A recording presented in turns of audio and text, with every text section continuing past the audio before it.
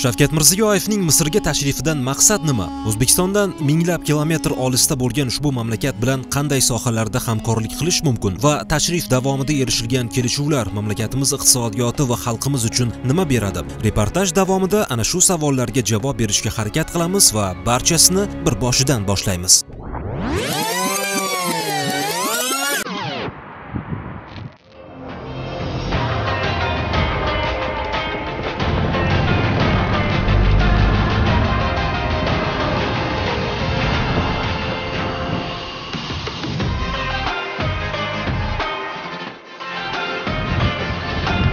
Misr Arab Respublikasi Afrika qit'asining shimoli-sharqiy qismida joylashgan davlat. Aholisi 100 milliondan ziyod bo'lib, arab mamlakatlari orasida aholi soni eng ko'p bo'lgan davlatdir. Qolaversa, Misr Afrika qit'asida eng katta iqtisodiy salohiyatga ega davlatlardan biri sanaladi. Butun dunyodagi savdoning 20% ushbu mamlakat hududidan o'tgan Suvaysh kanali orqali amalga oshiriladi. Qolaversa, turizm Misr iqtisodiyotining muhim tarmoqlaridan biri hisoblanadi.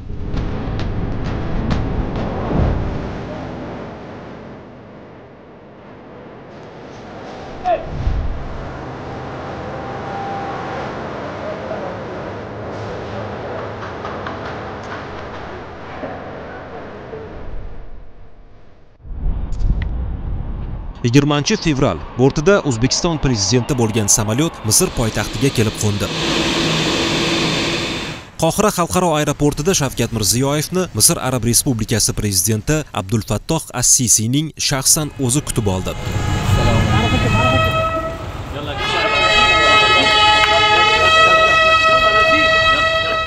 Shu yerda davlat rahbarlarining qisqa uchrashuvi bo'lib o'tdi va shundan so'ng Shavkat Mirziyoyev Qohira shahridagi Ahmad Farg'oniy majmuasi tomon yo'l oldi.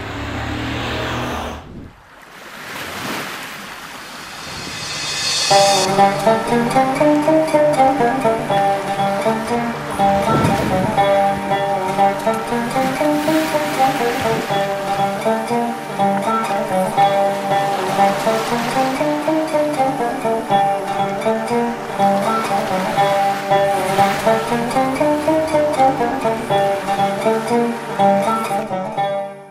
Nil daryosi dunyodagi eng uzun daryo bo'lib, uning Misr xalqi uchun ahamiyati juda juda katta. Boisi hududining 96% qumliklar va sahrodan iborat bo'lgan Misr asosan Nil daryosining suv manbai yordamida dehqonchilik qiladi, oziq-ovqat va meva-sabzavotlar yetishtiradi.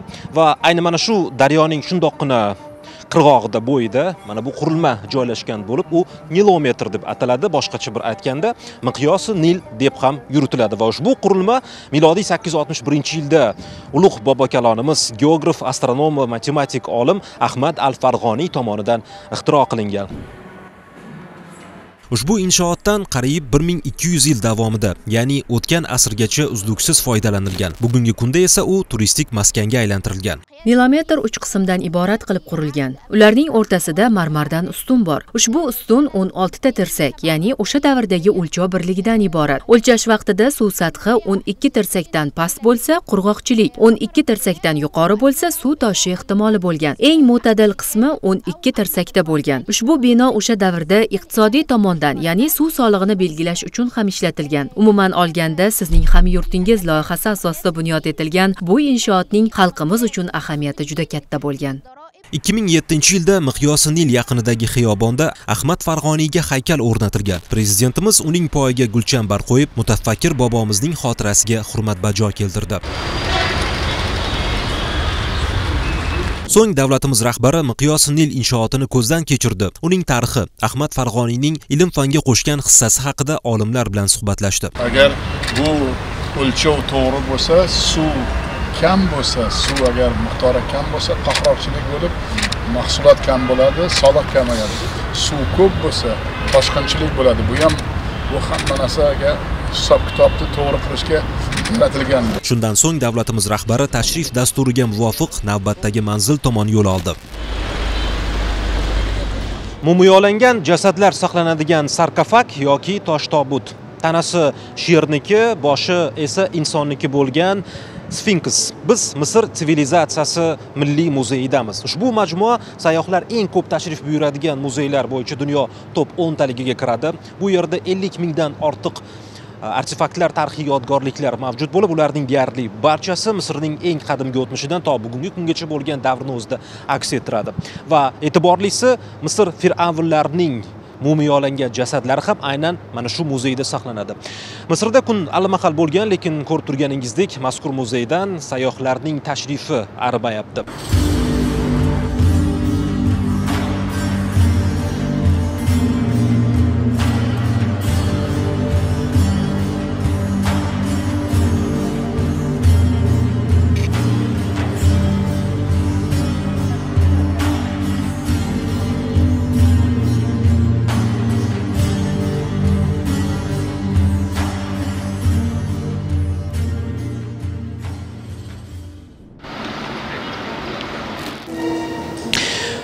o'zbekiston respublikasi prezidenti shavkat mirziyoyev misr arab respublikasiga tashrifi chog'ida al farg'oniy majmuasini ko'zdan kechirganidan so'ng misr sivilizatsiyasi milliy muzeyiga tashrif buyurdi va ayni daqiqada davlatimiz rahbari ushbu e, muzeyni ko'zdan kechirmoqda.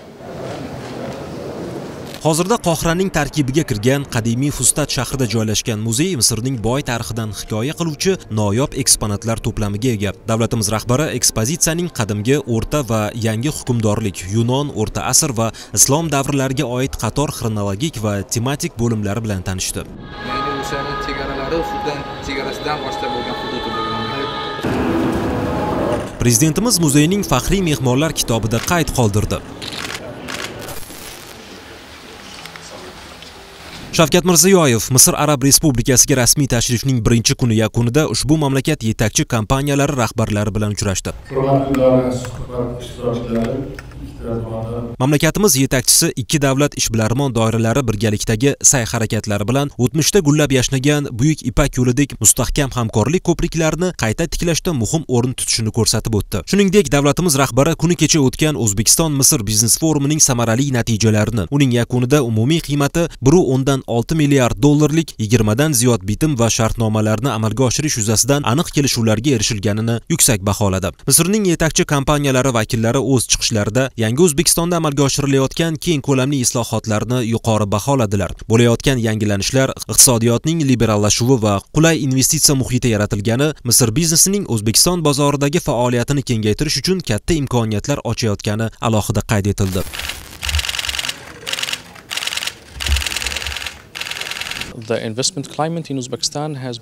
O'zbekiston sanoati va iqtisodiy muhiti haqida ma'lumotga ega bo'lish va o'zaro fikr almashish uchun ajoyib uchrashuv bo'ldi shaxsan prezidentga o'z tashabbuslarimizni bildira oldik. Bu uchrashuv bizning o'zbekiston bilan bog'liq biznes loyihalarimizni amalga oshirishimiz uchun ham katta imkoniyat beradi. Bu haqiqatdan ham ajoyib uchrashuv bo'ldi. O'zbekistonda biznes qilish uchun imkoniyat va investitsion muhit butunlay o'zgarganini alohida ta'kidlash lozim. Albatta bu o'zgarishlar janob mirziyoyev hokimiyat tepasiga kelganidan so'ng jadallik bilan boshlandi. Xususan erkin iqtisodiy zonalar barpo etish sanoatning turli yo'nalishlari masalan farmatsevtika biokimyoviy bilimlar almashish borasida investitsiya kiritish uchun o'zbekistonda ajoyib imkoniyatlar yaratilgan.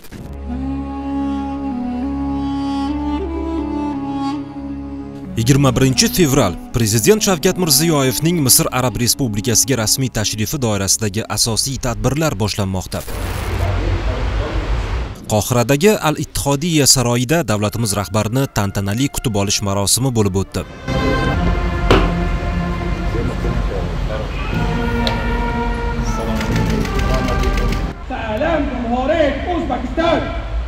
Salam.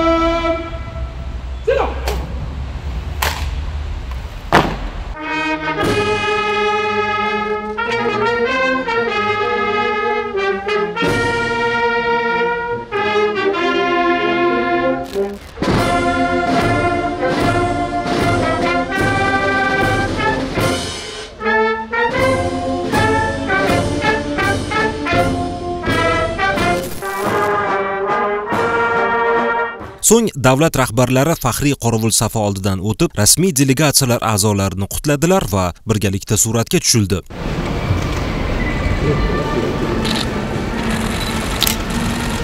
Shundan so'ng ikki tomonlama oliy darajadagi muzokaralar boshlandi. Davlat rahbarlari o'zbekiston misr hamkorligini yanada rivojlantirish masalalarini atroflicha muhokama qilib o'zaro munosabatlarni keng qamrovli sheriklik darajasiga olib chiqishga kelishib oldilar. Ikki mamlakat iqtisodiyotlari bir birini to'ldirib turuvchi xususiyatga ega ekanidan kelib chiqib 5 ta aniq yo'nalishda gaz kimyo to'qimachilik elektrotexnika zargarlik va farmatsevtika tarmoqlarida hamkorlik qilish choralari belgilab olindi. Tashrif voqealarini yoritib borayotgan jurnalistlar guruhi navbatdagi tadbir manzili tomon borishmoqda. Birozdan so'ng al ittihodiya saroyining mana bu zalida hujjatlarni imzolash marosimi bo'lib o'tadi. Ayni vaqtda unga tayyorgarlik ko'rilmoqda.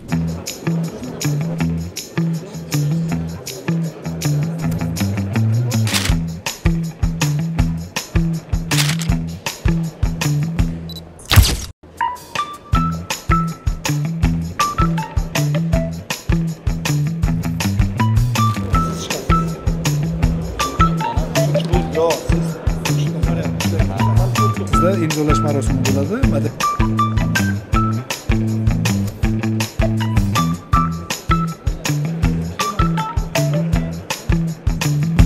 marosim boshlanishiga oz fursat qoldi. Biz esa o'zbekiston tashqi ishlar vazirligi vakilidan imzolanadigan hujjatlar to'g'risida ma'lumot olishga urindik. Yaxshimiz tez bir narsa so'rab olaylik jami nechta hujjat imzolanadi? Hozir bu yerda to'qqizta va o'ninchi hujjat e'lon qilinadi. Aha. Bu bu yerda bu to'qqiztani ichida bayonot bor a? yo'q o'ninchisi u. Bayonot qabul qilinadi. Prezidentlar keng qamrovli hamkorlikni mustahkamlash bo'yicha. Ha ha. Общий umumiy o'nta shu. O'nta. Hujjat hozir bu yerda imzolanadi yana buni tashqarisida ham imzolanadiganlar bor. Ikki mamlakat prezidentlarining muzokaralari yakuniga yetdi va ayni daqiqalarda ushbu muzokaralar yakunlari bo'yicha erishilgan kelishuvlarni hujjatlarni almashish marosimi boshlanish arafasida. Davlat rahbarlari siyosiy savdo iqtisodiy investitsiya madaniyat va ta'lim sohalaridagi hamkorlikni kengaytirishga qaratilgan qo'shma bayonotni qabul qildilar. Prezidentlar huzurida qator ikki tomonlama hujjatlar imzolandi. Ular ikki mamlakat tashqi ishlar vazirliklari o'zbekiston investitsiyalar sanoat va savdo vazirligi va misr investitsiyalar bo'yicha bosh boshqarmasi o'rtasidagi o'simliklar karantini va himoyasi jamoat sog'liqni saqlash tizimini tashkil etish investitsiyalarni jalb qilish va ikki tomonlama investitsiyaviy munosabatlarni mustahkamlash texnik jihatdan tartibga solish taraqqiyot masalalarida tajriba almashish kabi yo'nalishlardagi hamkorlikni rivojlantirishni nazarda tutadi. Shuningdek o'zbekiston islom sivilizatsiyasi markazi va abu rayhon beruniy nomidagi o'zbekiston sharqshunoslik instituti tomonidan misr milliy kutubxonasi va arxivi bilan o'zaro anglashuv memorandumlari imzolandi. Imzolangan ushbu hujjatlarning mazmuni va ahamiyati haqidagi savol bilan o'zbekiston investitsiyalar sanoat va savdo vaziri laziz qudratovga yuzlandik. Ta'kidlash joizki e, misr o'zbekistonning afrika qit'asidagi eng yirik e, savdo hamkori hisoblanadi. Kimyo energetika elektrotexnika to'qimachilik e, charm poyabzal qishloq xo'jaligi zargarlik sanoati kabi sohalarda aniq kelishuvlarga erishildi. Rasmiy tashrif doirasida umumiy qiymati bir olti milliard dollarlik yirik qo'shma investitsiya loyihalarini amalga oshirishga qaratilgan hujjatlar imzolandi. Misr kompaniyalari bilan hamkorlik bundan buyon ikki mamlakat iqtisodiyotlarining bir birini to'ldirish omillariga asoslanadi. Bu esa katta istiqbollarni ochib beradi.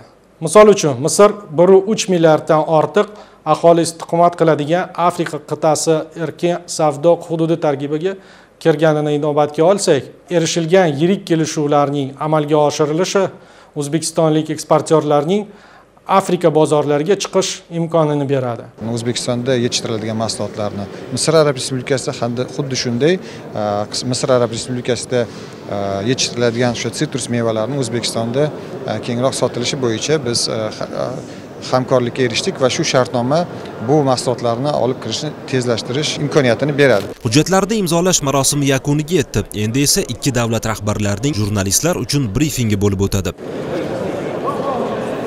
Ikki tomonlama hujjatlarni imzolash va almashish marosimi yakuniga yetdi va shundan so'ng qisqa tanaffus bo'lib o'tdi va ushbu tanaffusdan so'ng ayni daqiqalarda o'zbekiston va misr prezidentlarining ommaviy axborot vositalari vakillari uchun uh, brifingi boshlanmoqda. Biz prezident janoblari bilan ochiq do'stona va amaliy ruhda muloqotlarimiz davomida hamma tomonlama chuqur fikrlarga keldik. Savdo iqtisodiy sarmoyaviy transport logistika madaniy gumanitar xavfsizlik va korrupsiyaga qarshi kurashish sohalarida ko'p qirrali aloqalarimizni kengaytirish bo'yicha ham kelishib oldik. Tashrif doirasida gaz kimyo tekstil elektrotexnika farmatsevtika zargarlik kabi istiqbolli sohalarda sanoat kooperatsiyasini yo'lga qo'yish har ikki tomon uchun ham birdek manfaatli bo'lishini alohida qayd etdik. Albatta xalqlarimizning umumiy din o'xshash urf odat va qadriyatlar azaliy do'stlik rishtalar chambarchas bog'lab turadi. Biz bugun ikki birodar xalq o'rtasidagi mushtarak ma'naviy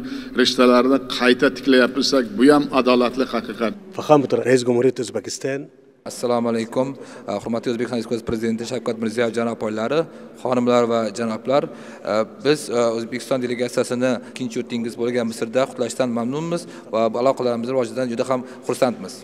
Birinchi bor misrga bo'lgan tashrifingiz bilan qutlayman. Bu tashrif bizning ikki ming o'n sakkizinchi yil yurtingizga bo'lgan tashrifdan keyingisi bo'lyapti. Janob prezident biz sizni yurtingizni albatta mavrunnaha yurtida bilamiz. Samarqand buxoro shaharlari borligini bilamiz yurtingizda va yurtingizda imom buxoriy zamaxshariy va termiziy kabi buyuk allomalar yurti deb bilamiz shu bilan bir qatorda siz e, tashrif buyurgan ahmad al farg'oniy va nilamer va shu bilan bir qatorda ibn tulun masjidlari ham mamlakatlarimiz o'rtasidagi tarixiy rishtalarni bog'lab turuvchi meroslardan hisoblanadi. Misr e, o'zbekiston respublikasi mustaqilligini tan olgan birinchi arab mamlakatlaridan bo'lgan va birinchi arab mamlakatlaridan bo'lib ham o'zining elchixonasini ochgan bir ming to'qqiz yuz to'qson uchinchi yilda. Janob prezident sizni misrda yana bir bor qutlaymiz va bu tashrifingiz albatta turli sohalardagi aloqalarimizni yanada rivojlanishiga turtki bo'lib xizmat qilishiga aminmiz o'zbekiston prezidenti uchun ajratilgan kortej qohira aeroporti tomon yo'l oldi.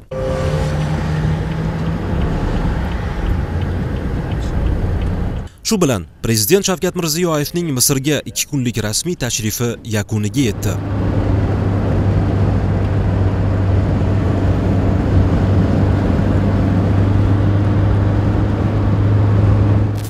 Misr xalqaro maydonda geosiyosiy jihatdan katta ahamiyatga ega. Boisi e, ushbu davlat afrika qit'asining kaliti va darvozasi sifatida e'tirof etiladi. Aynan misr orqali qit'aning deyarli barcha mamlakatlarga yo'l o'tgan o'zbekiston respublikasi prezidenti shavkat mirziyoyevning misr arab respublikasiga amalga oshirgan ikki kunlik rasmiy tashrifi esa nafaqat bir mamlakat balki butun boshli qit'a undagi davlatlar bilan aloqalar yangi bir bosqichga chiqishi bilan ham tarixiy ahamiyatga egadir. Jahongir olimov sanjar shermuhammadov yangi zamon dasturi uchun qohira shahridan.